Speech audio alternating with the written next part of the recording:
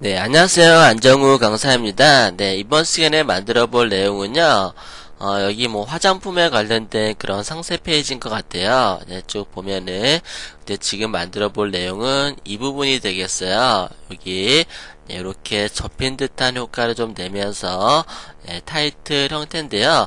한번 만들어 보도록 할게요. 네. 일단은 제가 어 옆에다가 칼라를 좀 다르게 해서 만들어 보도록 할게요.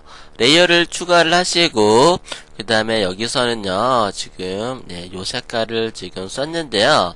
제가 다른 컬러를 한번 적용을 시켜 보도록 할까요? green color를 한번 적용을 시켜 보도록 할게요. green color로 해갖고 어, 라운드 사각형을 그려주도록 할게요. 라운드 사각형 선택하시고 그 다음에 이렇게 예, 모양을 만들어 놨어요. 여기다가 제가 그려보도록 할게요. 네, 이렇게 해갖고 그러면 일단은 박스가 하나 더 필요할 것 같아요. 그래서 레이어를 더 추가하고요. 사각형을 하나 그려주도록 할게요. 사각형을 하나 이렇게 그리시고요. 그리고 음, 약간 안쪽으로 예, 안쪽으로 어, gradient를 적용시켜 주도록 하는데 foreground color를 파란색으로 만들어주고 다시 swap해서 조금 밝은 톤으로 체크해 주도록 할게요. 이렇게 그리고 gradient를 이용해서 gradient editor에서는 foreground to background로 선택해 주세요. 다 됐나요? OK 눌러주시고 Shift 키를 눌러서 이렇게 드래그를 해갖고 예, 칼라를 갖다가 넣어주시는데 반대로 됐네요. 그러면 다시 이렇게 칼라를 적용시키시고요. 그 다음에 레이어를 또 추가하시고 레이어 추가하고 흰색으로 흰색을 만들어 주시고 그 다음에 gradient 선택하시고 gradient editor에서 투명한 한쪽은 투명한 색상을 갖다가 만들어 줄 수 있도록 하세요. 네, 이렇게 다 됐나요? 그 다음에 어, 앞쪽에다가 살짝 예, 드래그를 해주도록 할게요. 대각선 방향으로 살짝 드래그를 해주시고요. 그 다음에 투명도, opacity를 연하게 처리를 해줄 수 있도록 하시고요. 예, 이렇게. 그 다음에 다시 레이어를 추가하고 gradient를 선택하신 다음에 방사형 radial을 갖다가 한 번 더 이렇게 적용해도 나쁠 것 같지는 않아요. 이렇게. 그 다음에 얘도 투명도 이렇게 적용해 주시고요. 그 다음에 꺾인 부분 한번 만들어 보도록 할게요. 꺾인 부분은 만들어 줘야 되는데 이 부분을 갖다가 제가 어, 사각형의 박스를 하나 만들게요. 이렇게 박스를 만들고 기존의 칼라보다는 네, 조금 더 예, 진한 칼라를 갖다가 예, 만들어 주도록 할게요. 약간의 진한 칼라를 만들어 주시고요. 그리고 레이어 추가를 하시고 네, 레이어 추가를 하시고 edit fill로 채워 넣어 주도록 할게요. 이렇게 채워 넣었어요. 이 채워 넣어진 것 갖다가 밑으로 레이어를 살짝 만들어 주시고 그 다음에 이동 툴로 컨트롤 T 예, transform으로 control 키를 누르고요. 여기를 밑으로 살짝 내려주세요. 아이크 제가 예, 실수했을 때는 control Z 하시고 컨트롤 키를 누르고 예, 밑으로 이렇게 잡아서 살짝 내려주시면 되겠어요. 이렇게 내리고 엔터 눌러서 활성화 시켜 주시고요.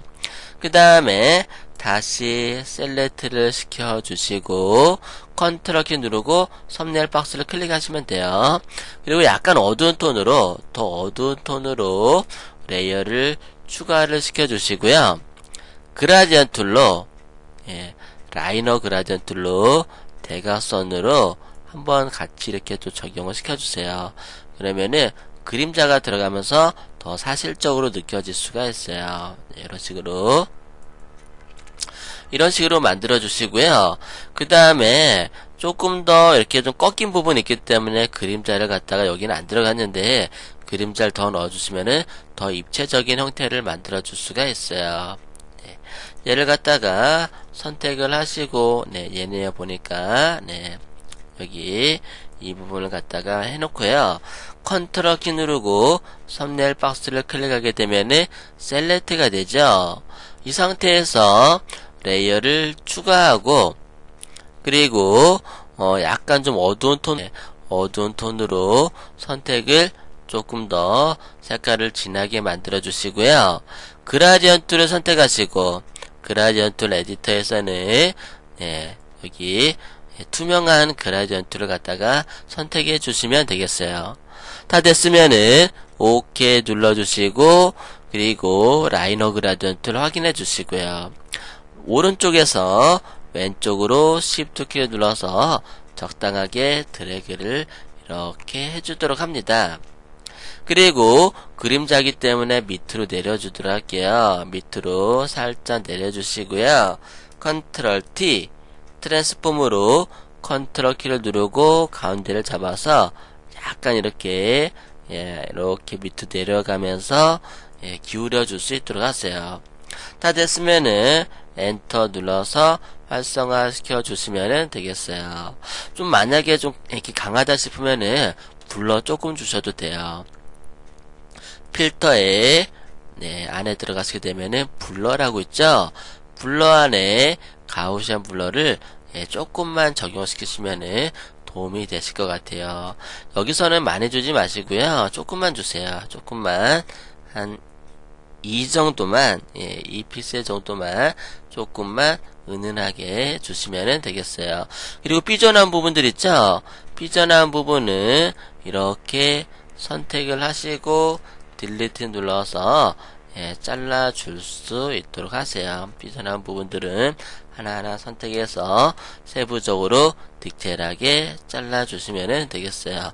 그러면은 더 이렇게 이렇게 사이가 뜬 것처럼 느껴지는 걸 알 수가 있을 거예요. layer를 맨 위에 선택하고 그리고 foreground 컬러를 흰색으로 만들어 주도록 할게요.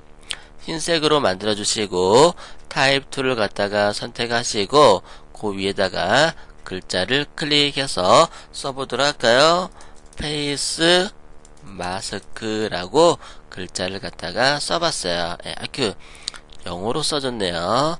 그러면은 한영키 바꿔주고 예, 페이스 마스크라고 글자를 써봤어요. 이렇게.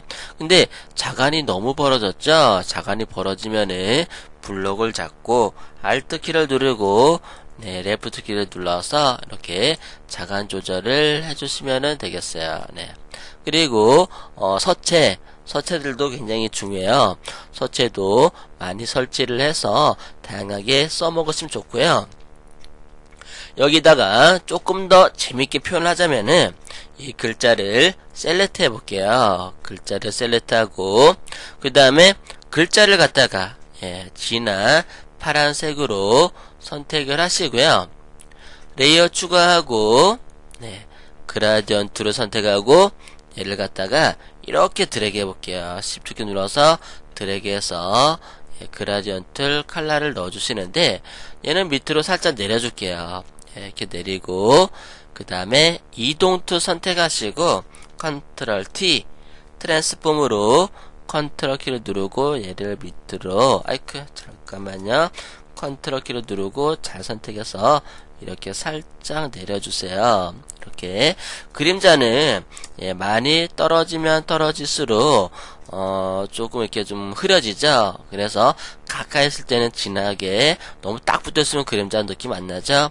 그러면서 이렇게 글자가 뜬 것 같은 느낌을 만들 수도 있답니다. 이렇게 해줘도 어, 보는 시각적인 입장에서는 재미있는 독특한 디자인을 만들어낼 수가 있답니다. 어때요? 예, 지금 바로 응용해 볼 수 있겠죠? 좋은 디자인 할 수 있도록 바래요. 오늘은 여기까지 하도록 하겠습니다. 수고하셨어요.